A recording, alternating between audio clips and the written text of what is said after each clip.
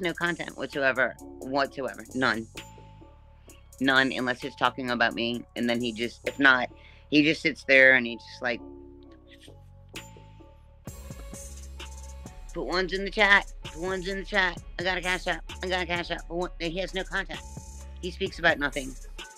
He shows old videos of his life, reminiscing about how it used to be when he used to stream and now he's in mommy's house and has no life and all he does is sit home and now he didn't even i heard he didn't even go see his probation officer. Like what's up? Why didn't you go see your probation officer ski? Really like why do you want to go to jail? You spent all that much money you know? So it's more i think it's more of a social connection for him that's important. No i think that i think that I think that Ski's got something a little. Yeah, I, I, don't care what anybody says. I saw it clipped. I don't care. Clip it again. Clip it again. Ski cannot go one live without talking about me, thinking about me, knowing what I'm doing. Clip it all you want. Clip it all you want. Yes, clip it all you want about. I mean, I am not lying about Ski. Mm-mm. Not lying. Is it true that he's going to jail? I don't know, and that really sucks because he spent all that money on attorney. He pled out he got like a decent little deal thing, whatever, and then he didn't show up to probation. But I mean, I know why because they're gonna piss test him and he's gonna fail and they're gonna throw him in jail. What he should have done is when they put him on probation, he should have said, "Hey, I'm smoking." This is my source. Um, uh, it's been days, but a couple days, but yeah, he even said that he didn't go to court.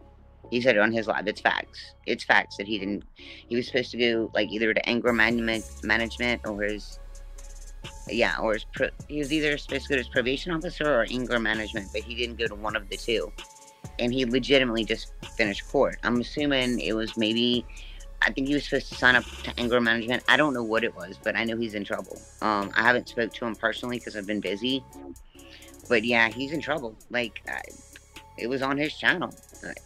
He's in trouble. He didn't do one of the two things he was supposed to do. And now, I mean, he's gonna have to pay the consequences. But if it was like a test, he should have been honest. Anger management isn't, but yes, but he was supposed to sign up for it. No, anger management doesn't work. I had to take it to a long, long, long time ago.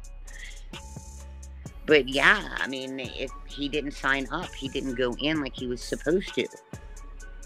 And so, yeah, it's no big deal. But if you don't go in and you don't sign up for something you're supposed to, that's part of your probation, you're going to get thrown in jail. So I don't know the whole story. I don't know if he didn't sign up for anger management in time or if it was going to see his probation officer. Okay, it's one of the two. It was discussed in his chat, in his live. So I know that it's 100% fact. I know it's 100% fact. It's one of the two. But if it was like a test, I would be honest with me, like, look, I've been slapped you're going to piss test me, you're going to have to give me at least a month to get clean. And that way I would never feel, I wouldn't feel a piss test, right?